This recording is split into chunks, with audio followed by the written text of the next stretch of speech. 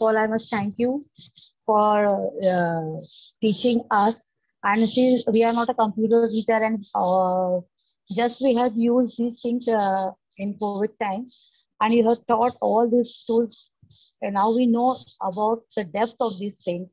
And regarding you, sir, there is, I think, no no matches there. No one can match you. Your patience, your way of delivering, your way of uh, teaching, and describing and uh, telling everything in so detail.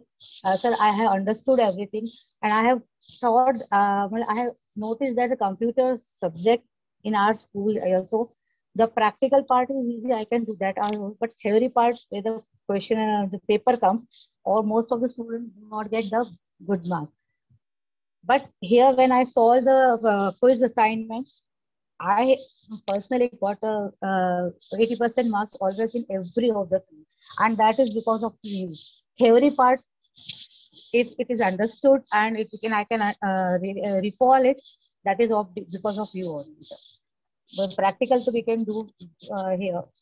But thanks a lot for teaching us. Sir. Thank you very much.